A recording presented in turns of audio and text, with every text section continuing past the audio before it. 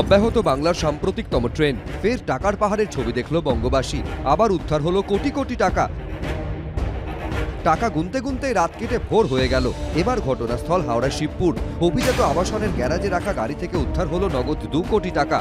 এছাড়াও ব্যাংকের দুটি অ্যাকাউন্টে ফ্রিজ করা হয়েছে আরও কুড়ি কোটি টাকা। শনিবার রাত দশটা নাগাদ শিবপুরে অভিজাত ক্লাবটাউন রিভারডেল নামে এই আবাসনে হানা দেয় পুলিশ। আবাসনের তিন নম্বর ব্লকে টু ডি ফ্ল্যাটটিতে থাকেন ব্যবসায়ী শৈলেশ পাণ্ডে, তার দাদা অরবিন্দ পাণ্ডে ও তাদের পরিবার। সেখানেই যান লালবাজারের গোয়েন্দারা।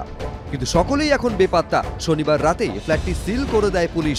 এরপর গোয়েন্দাদের নজরে পড়ে গ্যারাজে থাকা W B twelve C seven seven five one number plate লাগানো এই ধূসর রঙের গাড়িটি। এটি শৈলেশের ভাই অরবিন্দের নামে রয়েছে।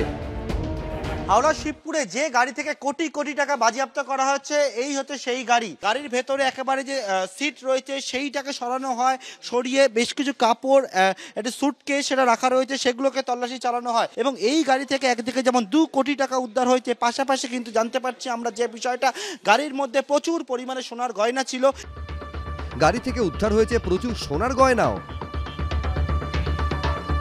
আমাদের যেটা বলা হয়েছে যে পুলিশে সিল করে দিয়ে গেছে উপরে কাউকে এখন অ্যালাউ করা হবে না যখন পুলিশ আসবে তখন তারা যে বাবু কাজকর্ম করবে সেই বাবু তারা করবে ব্যাস ওনাকে আমরা কোনোদিন মানে কতদিন ধরে ছিলেন? বছরে হ্যাঁ কতদিন ছিলেন কোথায় উনি কতদিন ছিলেন এই ফ্ল্যাটে এটা আমরা বলতে পারবো না পুলিশ সূত্রে দাবি ইতিমধ্যে শৈলেশ ও অরবিন্দের খোঁজে তল্লাশি শুরু হয়েছে रहता था यहाँ जरूर हम देखा उसको ওরা কি নিয়মিত ফ্যামিলি নিয়ে থাকতো এখানে না हाँ उसका एक माँ एक भाई तीन आदमी रहता था আচ্ছা আচ্ছা शायद ऐसा ही কোন ऐसा कुछ नहीं नहीं किसी से अनजान किसी के पास में किसी नहीं नहीं किसी के साथ में बातचीत भी नहीं करता था नहीं रहता था यहीं पे भाई हाँ हाँ लेकिन सबके साथ मिलजुल के रहना नहीं किसी से अनजान बोलचाल ही नहीं था अपना आता था चला जाता बस क्या बा- कारोबार करता था नहीं मालूम है শনিবারের পর রবিবার দিন ফের হাওড়া শিবপুরের অভিজাত আবাসনে এসে পৌঁছালেন গোয়েন্দারা এবং শৈলেশ পাণ্ডের যে ফ্ল্যাট রয়েছে সেই ফ্ল্যাটের দরজার তালা ভেঙে ঘরের মধ্যে প্রবেশ করলেন গোয়েন্দারা এবং সেখানে চালালেন তল্লাশি অভিযান কীভাবে ঘটনার সূত্রপাত? পুলিশ সূত্রে খবর,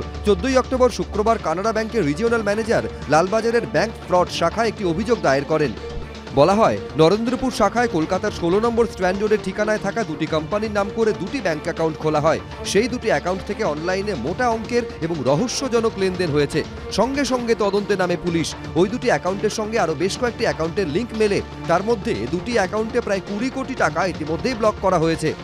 স্ট্যান্ডার্ডের একটি অফিসে দুটি সংস্থার নাম করে দুটি অ্যাকাউন্ট খোলে অভিযুক্তরা এবং সেই অ্যাকাউন্টে রহস্যজনকভাবে কোটি কোটি টাকা লেনদেন হচ্ছে, সেই বিষয়টি সংশ্লিষ্ট ব্যাংক কর্তৃপক্ষের নজরে আসার সঙ্গে সঙ্গেই তারা লালবাজারের দ্বারস্থ হন এবং যে দুটি অ্যাকাউন্টে কুড়ি কোটি টাকা লেনদেন করা হয়েছে, সেই দুটি অ্যাকাউন্টকেও ব্লক করা হয়েছে। এমনটাই কিন্তু লালবাজার সূত্রে খবর। পুলিশ সূত্রে দাবি, সেই সূত্র ধরেই সামনে আসে ব্যবসায়ী ও পেশায় চার্টার্ড অ্যাকাউন্টেন্ট শৈলেশ পাণ্ডের নাম। আর তারপরই শনিবার রাতে শিবপুরে হানা দেয় পুলিশ। কিন্তু কোথা থেকে এলো এই বিপুল টাকা? প্রাথমিক তদন্তের পর পুলিশের অনুমান, বৈদেশিক মুদ্রা লেনদেন সংক্রান্ত অনলাইন কোর্সের নামে বিপুল অঙ্কের টাকা ট্রান্সফার করা হয়েছে। এ বিষয়ে আরও তথ্য পেতে এখন পলাতক ব্যবসায়ীর খোঁজে তল্লাশি চালাচ্ছে পুলিশ। পার্থপ্রতিম ঘোষ, হিন্দোল দে, রঞ্জিত হালদার এবিপি আনন্দ।